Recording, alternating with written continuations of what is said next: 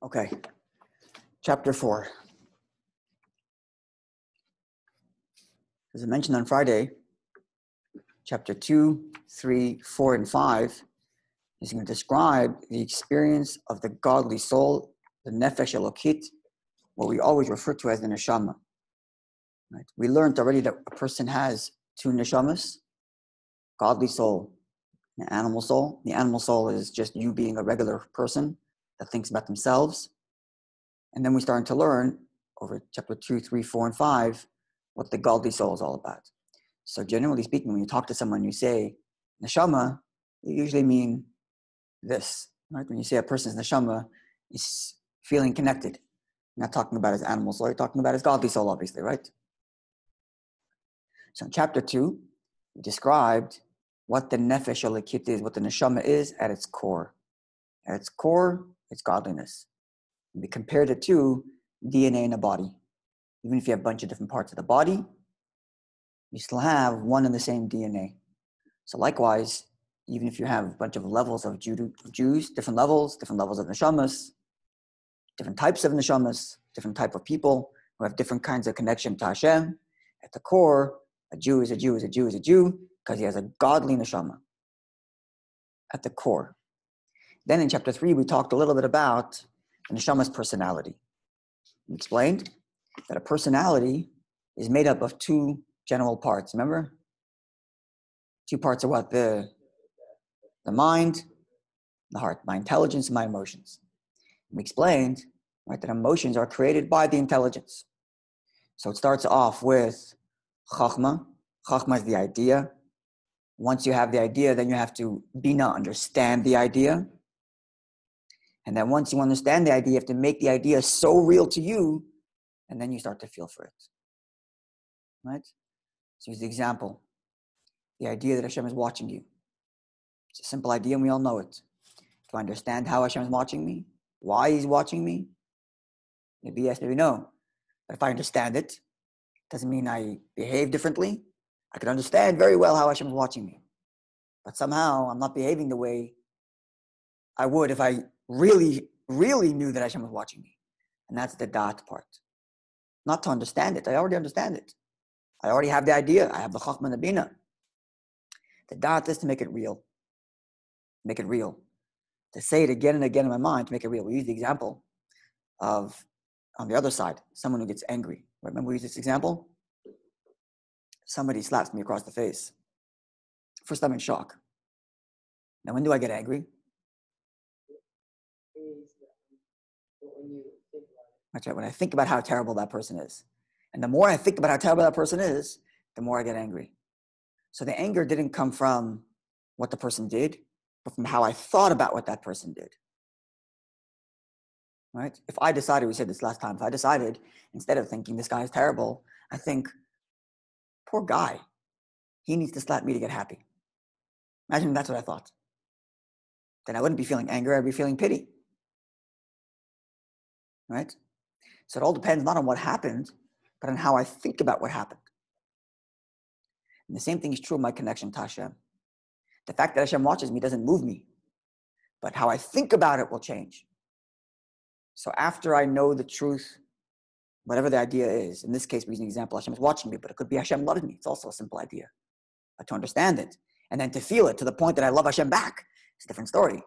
Right? So there's the idea of the Chachma, and then I have to understand the idea, and then I have to think about the idea to the point that it becomes real for me. And now I feel. That's the nefesh elokit, that's the godly soul's personality. Understanding Hashem and feeling for Hashem. Love, fear, etc. Clear? Yes? That was chapter three. Now in chapter four, we're going to get to what does the neshama do with all these feelings? So it has love for Hashem and it has fear of Hashem. What does it do now with it? Hmm?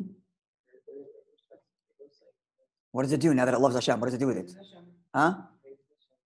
Praise it. Do mitzvot. You have to do now Hashem wants. If I love Hashem, or I'm in fear of Hashem, I want to do what He wants, and I don't want to betray Him. Right? That's right. Not a everybody does, but this is what the nefesh elokis does. If you didn't have a nefesh bahamik, if you didn't have an animal selfish side to you, this is how you would feel. Right? So now we're describing just the Nefesh. Soon we're going to describe the Nefesh Bahamut, and then we're going to describe the battle between the two. But in theory, if we only had a Nefesh kit in charge of our body, this is what we would feel. We would understand Hashem and love Hashem. What? Is it like an angel? Neshama? Anaf- a Neshama? No, No. the nefesh. uh, Elokit? Yeah, No. that's- they all have. Not like, oh, an, like an angel, no. An angel is more like an animal. Yeah. Yeah. but they're only That's what we, that's, that's what we say. V'alfanim v'chayot HaKodesh. How do you translate chayot HaKodesh? Eh, holy animals, exactly. Why are they called animals? Because they're instinctual. Their instinct is to serve Hashem. A neshama has to do free choice. A neshama has to work to feel for Hashem. For an angel, it's instinct. Right? Besides the fact that you don't, your neshama, in order to feel for Hashem, has to fight nefesh Bahamis, which makes it even harder. We would be like angels, but not exactly. The difference is an angel is created by Hashem, like an animal, and an neshama is part of Hashem. A neshama for sure is much more important than an angel. For sure, not even a question. Sorry? Oh, Yoah Navi. Yeah, he had a neshama, sure. That's why he's like a link between heaven and earth. Because he had a neshama, he had a body, but he's living in heaven. Right? That's why he's a link. Right? So now the, the neshama has all these feelings for Hashem. Now it has to act on those feelings. Okay? So let's see. Perek Dalet, chapter 4. V'oy yesh l'chol nefesh alikis. Every nefesh alikis has shloisha levushim, three, do we know what a levush is? Garments, clothing. Does a neshama need clothing? A body needs clothing. So what's the clothing of the neshama? Let's see. Shehem, let's see. Machshava, dibur, or maisa. Thought, speech, and action. There's one thing we described in Perek Gimel chapter 3 is the neshama's personality. The personality is made up of its mind, what it understands, and its heart, what it feels. But then there is something else your thought and your speech and your action. Your thought, speech, and action are not the same thing as your feelings. For sure, your action is not the same thing as your feelings because sometimes you feel very one way, but you act a completely different way. And same thing's for sure true of speech. You can feel one way, but hold your tongue and not say anything, or say something nice when you're feeling something else. Right? So your th- speech and your action are for sure not the same thing as your feelings or even your understanding. You can understand something one way and say it a different way. Or you can say silly things too. It has nothing to do with your mind. Right? So your neshama itself, its personality, its understanding, feelings. But then there's speech and action. What about thought? Is thought the same thing as where you understand things? It's very close, but it's not exactly the same thing. Why is it not the same thing?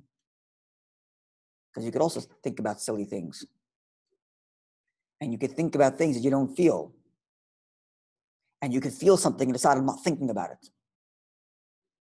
And you could think about something in a different way than you understand it. And here's the most important part you can decide at any moment what you want to think about.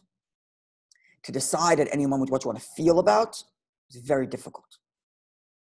If you love something, it's very difficult to switch it off and say, I don't love it anymore. It's very difficult to do that. Right? But your thoughts, that's much easier. You love something, but you can decide, I'm not thinking about it because I know that thing that I love is bad for me. So I'm not going to think about it, even if I still love it. Understand? So your thought, speech, and action, that's why it's called clothing. In the same way, clothing, you can take it on and off and change it. Same thing with thought, speech, and action. You can change it. Your feelings, much harder to change.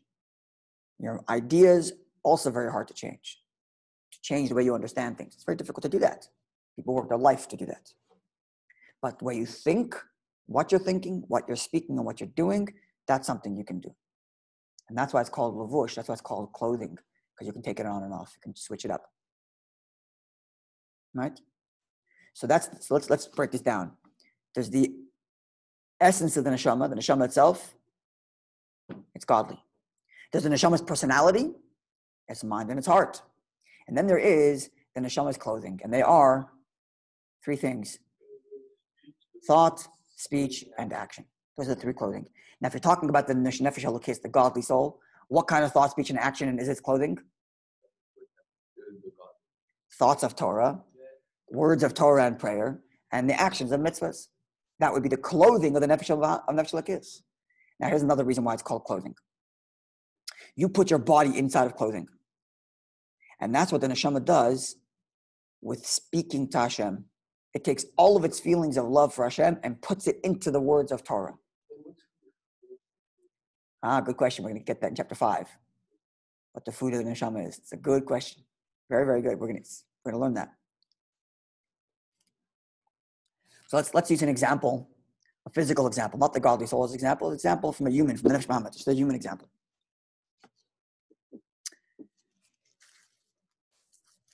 Let's just say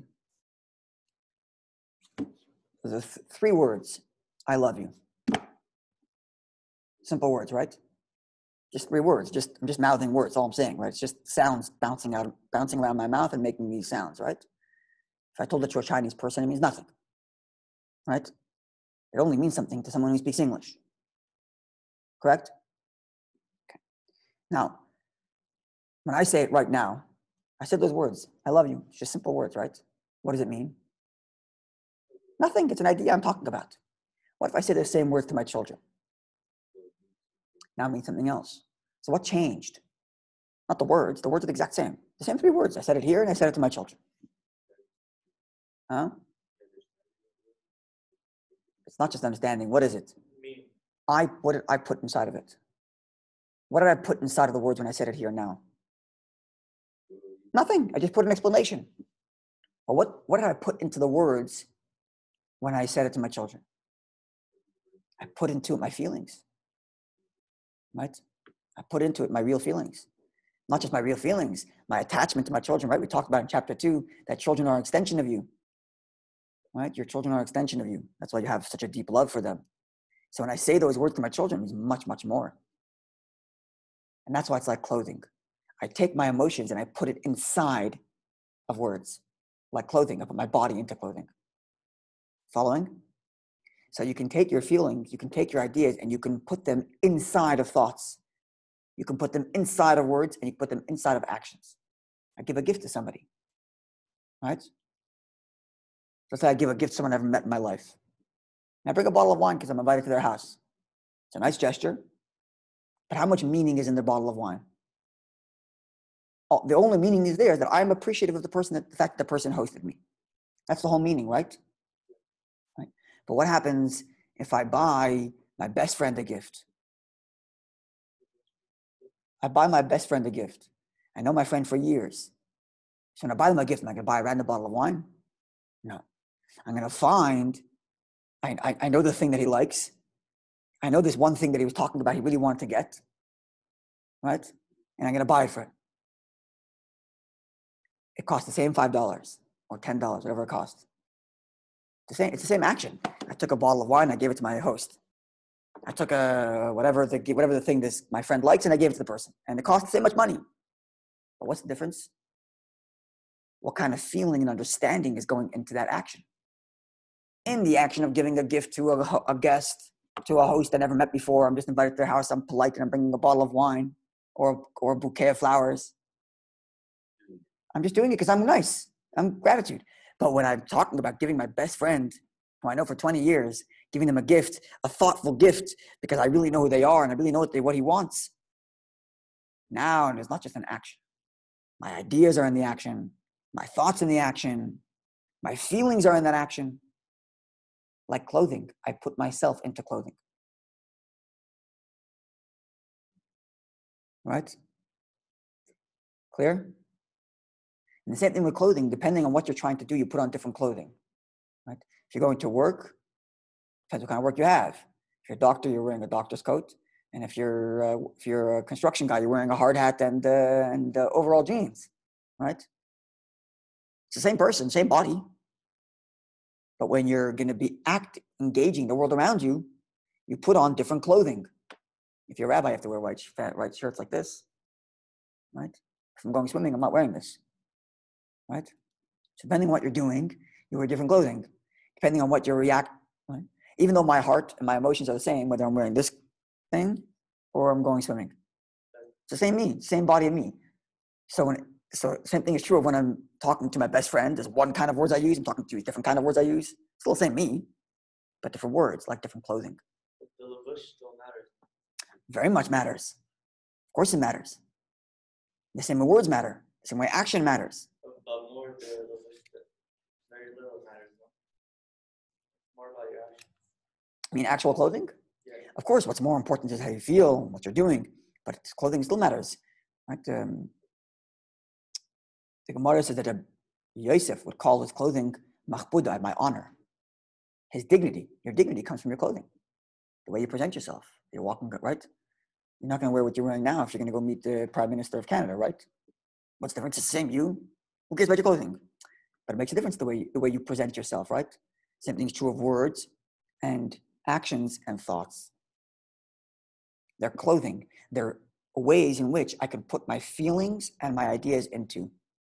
And for different occasions, I have different words and different actions and even different thoughts.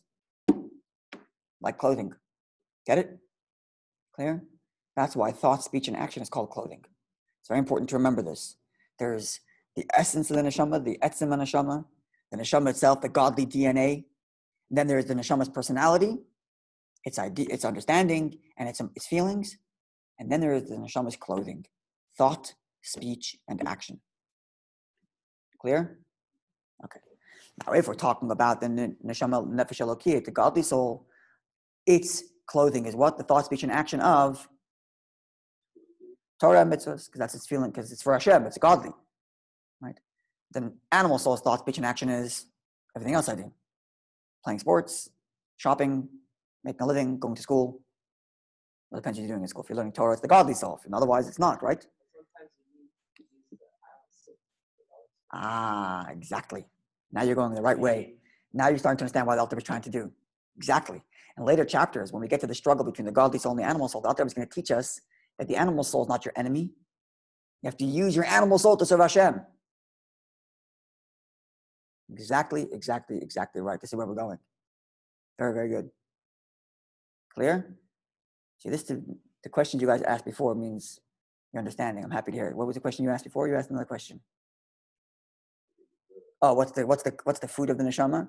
We're gonna learn about that, and that too, how the nefesh of is not the enemy, but how you use it for serving Hashem. That's what that's gonna come up um, soon. So very good. But let's now see what's the thoughts between action of the nefesh. Machshava de thought, speech, and action. Shel taryag mitzvah Torah of the 613 mitzvahs of the Torah.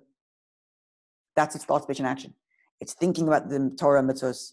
It's speaking about Torah mitzvahs and doing Torah mitzvahs. That's the godly soul's thought, speech, and action. Clear? So let's explain. This is something we said before about the clothing, that I put the feelings into my actions. I put the feelings into my speech. I put the feelings into my thought. So explain that now.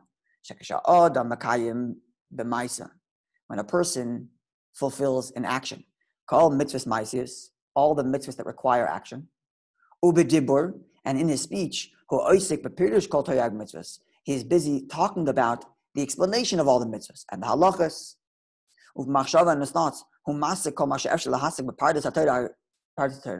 and in his thoughts, he tries to understand as best as he can all the levels of Torah. You know how many levels there are of Torah, by the way? It's the word pardus. You know what pardus means? Pardus is a garden. Know, you spell pardus in Lashon HaKodesh? Pei, Reish, Dalet, Samach.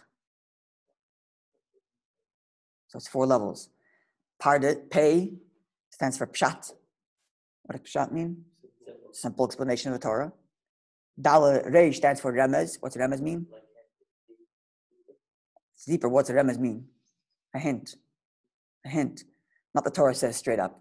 But if you look closely, you'll find something, like a gematria is a hint. It's a hint, it's remez. Always right. That, Uh, not always. Someone can make one up. Right? But a good remez, a true remez is is uh, like a hint. A gematria is a true gematria is like a remez. That's a resh. Dalad is drush. What does drush mean? Like like medrash. Like a medrash. Sorry? Diuk. A diuk means to point something out precisely. You can have a diuk on every level. You have a diuk in pshat, a diuk in remez, a diuk in drush. So drush is deeper. That's the level of midrash. And then you have samach is sod. What's sod? Secret. Which level of Torah is that? Kabbalah Chassidut. That's sod. Okay. Like with the, the Nisim, What? with nets, like, uh, like, uh, like, uh, miracles, different types, uh, Different types of miracles, yeah.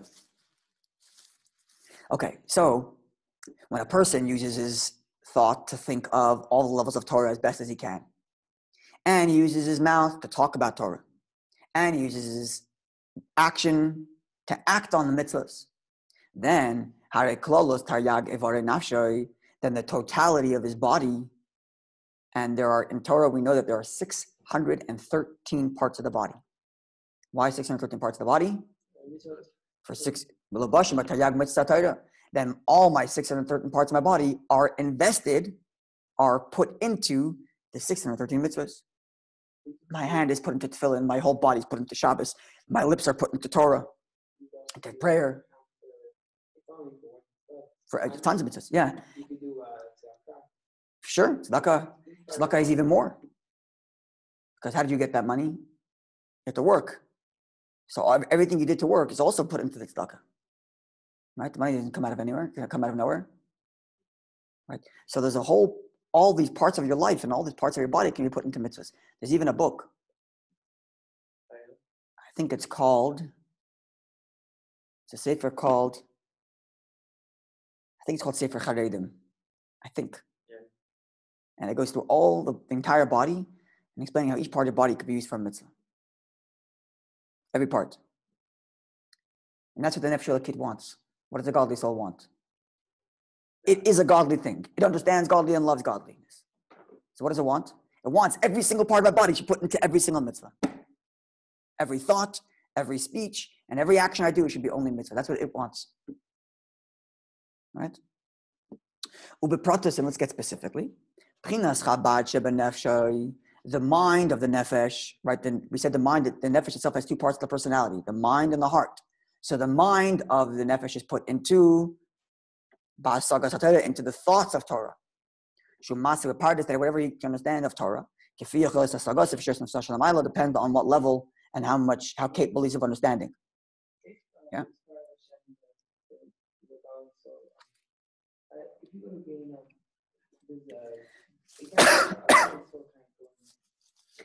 It has to get cleaned up. We're going to learn about that in chapter 8. That why, why and how the neshama has to go to Gehenna to get cleaned up. If, it, if in this world it was part of the things that were not so good, it has to get cleaned up. We're going to learn about that. That's true. Godliness goes to, to low places because of our Avedas. Now you understand how bad an Aveda is. You're taking your godly soul and you're bringing it into a terrible place. That's, that's exactly right. Okay. So the mind of the nefesh, alokit, is put into the thoughts of Torah.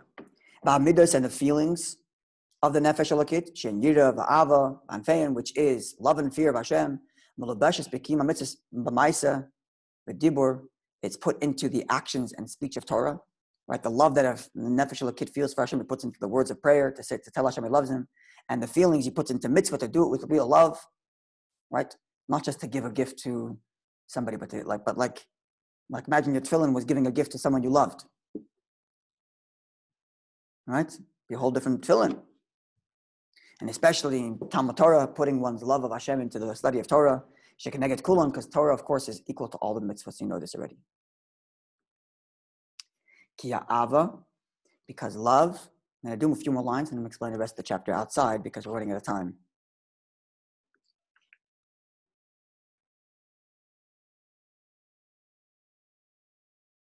Okay, let's explain a little bit. Let's explain what's going on.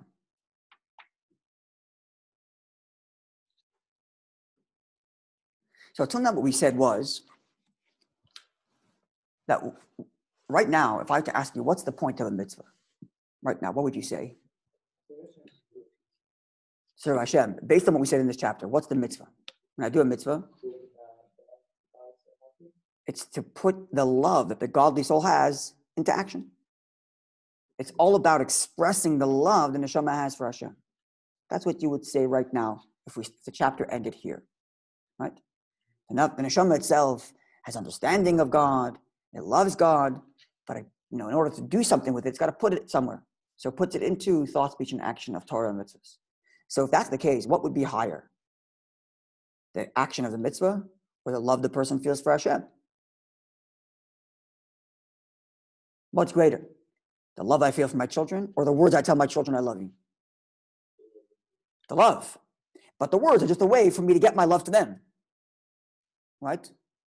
So really you would think at this point that the, that the highest thing is the neshama's feelings for Hashem. But it's got to put the feeling somewhere. So it puts it into, into Torah and mitzvahs. Right? But at this point, you would think that the feelings the neshama has is higher. Comes the second half of the chapter in chapter four and says, That's true. It's true. From my experience, my love of Hashem is so much greater to me than the action. But that's only if the focus is on me. If the focus is on me, then yeah, what's more important is how I feel. And then the action is something else, just because I need to put my feelings somewhere. But what if I'm thinking about not me, but Hashem? What's more important to Hashem?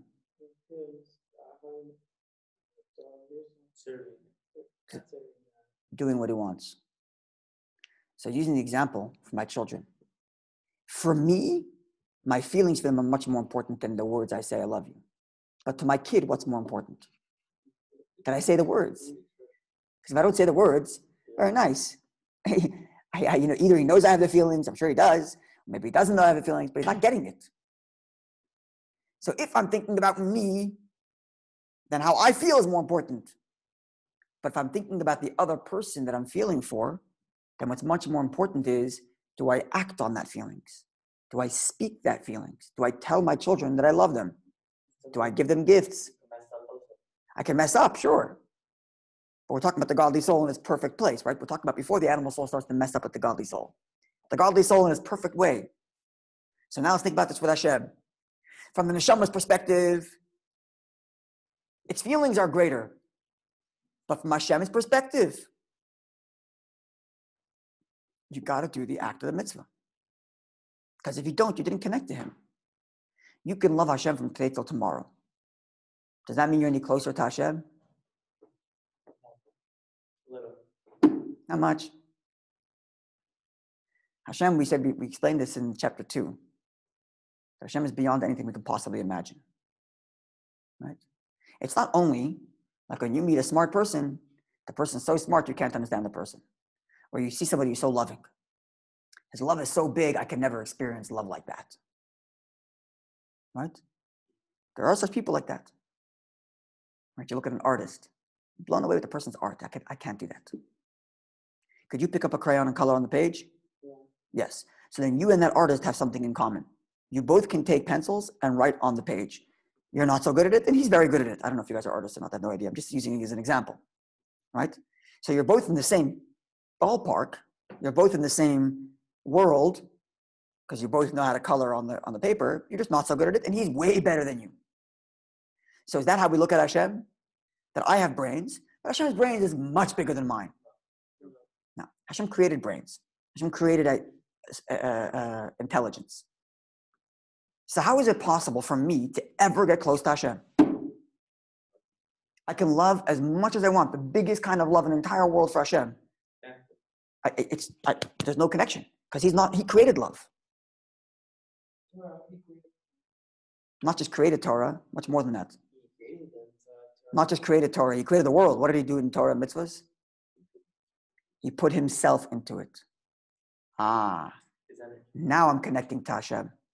Not because I'm so smart and that's why I can connect to Hashem, but because He gave it to me.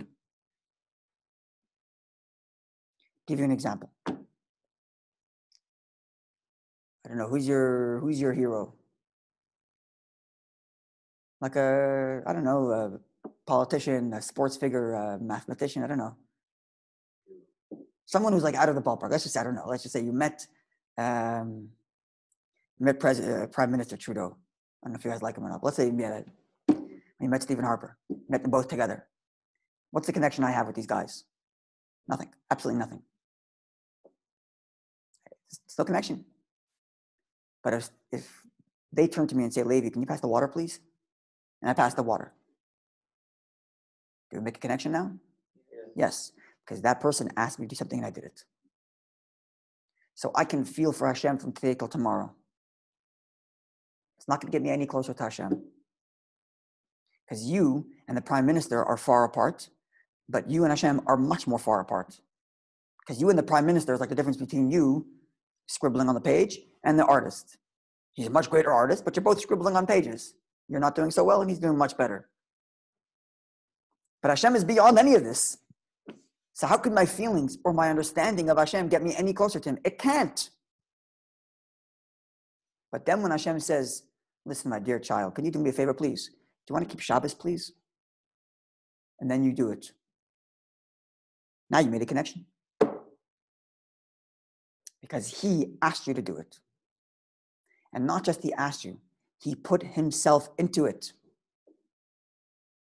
He put Himself into mitzvahs and Torah. And that's another reason why mitzvahs and Torah are called clothing. In the same way, I take my feelings for Hashem, and where do I put it? I put it into a mitzvah, right? I put my feelings into speech, into actions, and into, th- into thoughts. Hashem puts himself into Torah mitzvah also. It's Hashem's clothing. It's even more than Hashem's clothing. It's like Hashem's arm. When you put on tefillin, when you put on tzitzis, and when you keep Shabbos, imagine it like this. You're giving Hashem a hug.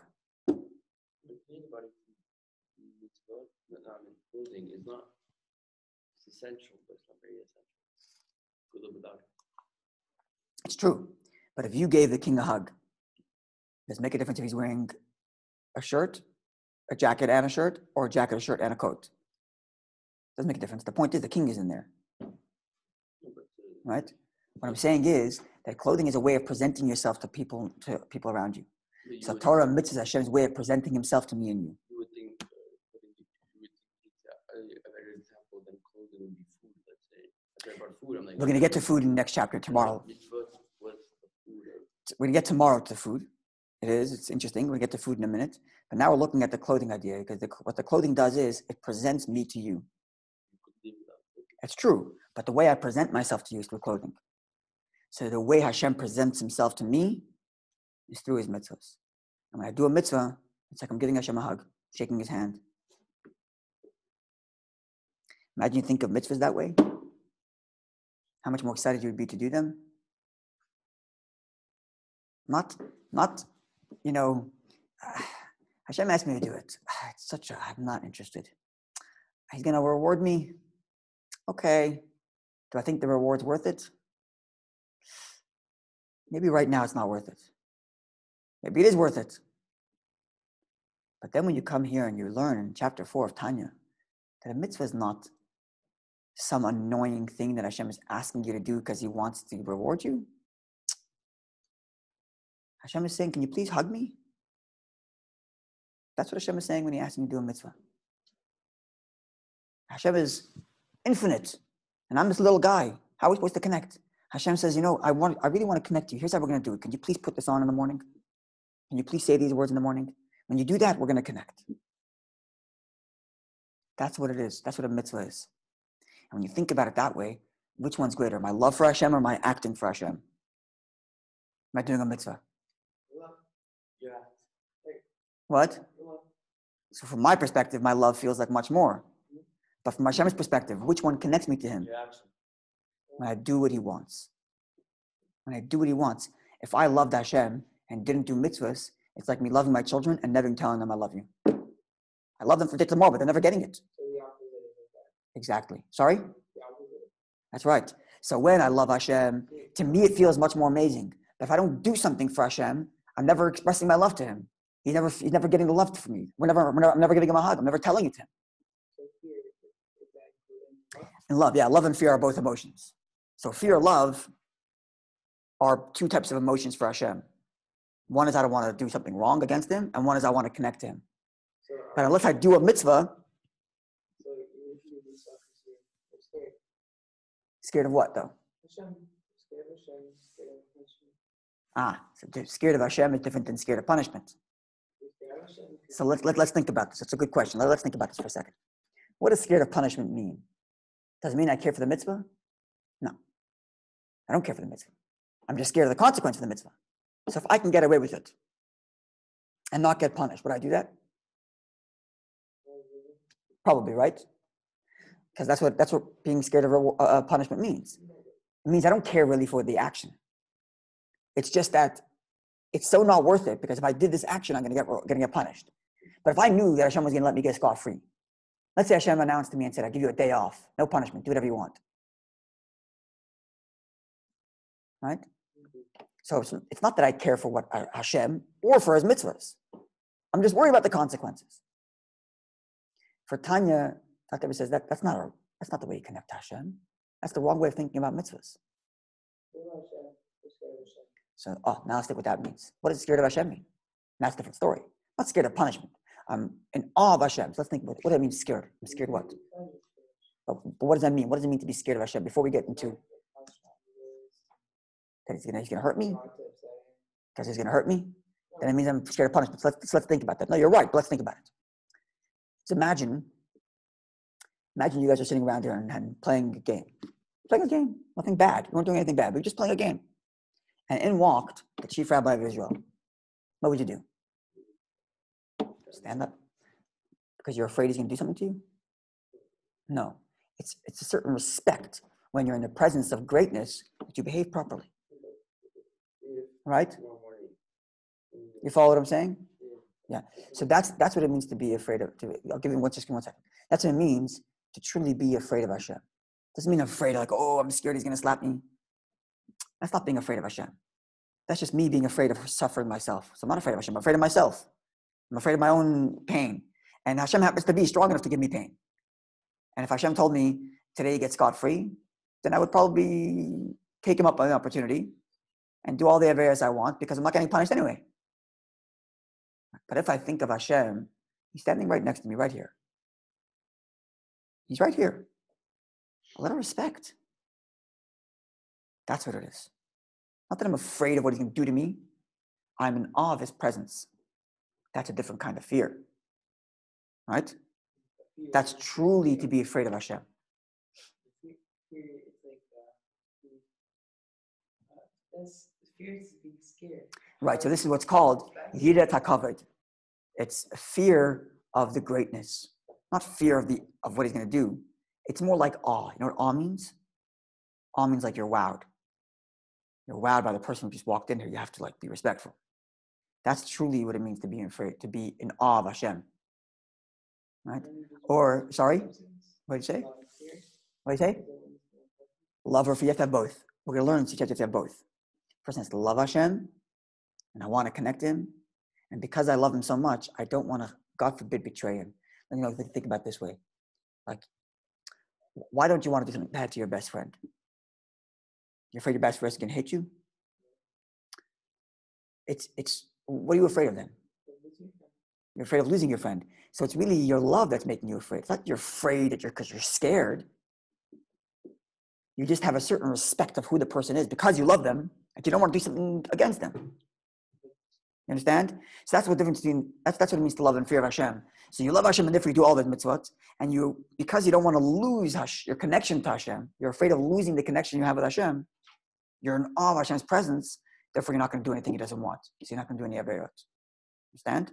Is that why uh, halal, when someone dies, they don't uh, they don't like stop putting on tefillin, do they?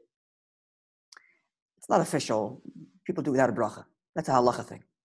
You know what I'm saying? So But it could be connected. still still a part. There's still a part in the punishment. The punishment still plays a part. Sure. But tomorrow, like if tomorrow morning there's no punishment, there's only it's only reward. You're, uh, Uh, you're not going to do as much. So from this perspective, you'll do the exact same thing. And there's a story about Shem Tov. It's a long, long story, but the story, the short part of the story is like this. He there was a he gave a blessing to a certain couple to have children. They didn't have children for many years, and he gave them a blessing to have children. Now, in Shamayim, they decreed that the Baal Shem Tov loses his Gan Eden, loses his Olam Haba. Mm-hmm. Why? Yeah, why? Because this per, this couple, they're in the Shama. In Shamayim, they made a decree that this couple can't have children. Long story because of Gilgul, whole long story. But in Shamayim, they decided this couple can't have children. And the Baal Shem Tov went to give him blessing anyway. So he broke the rule. And the, the couple had children. They had a child, I think, one child. So Baal Shem Tov broke the rule. So because they broke the rule in Shamayim, they said, Baal Shem Tov, no more Gan Eden for you. You know what the Baal Shem Tov said? He started dancing from joy. Why? Because now he can serve Hashem properly. Because till now, maybe he was serving Hashem because he wanted the reward. But now that he has no more reward, fantastic. Every, every mitzvah I do is for real, just for Hashem. Hmm? I don't know what happened to him after he passed away. I don't know if he got the Gan Eden or not. I don't know. But the point of the story is that he, the fact that he understood that the real way to serve Hashem is not for reward and punishment, but because I love Hashem. Imagine, sorry,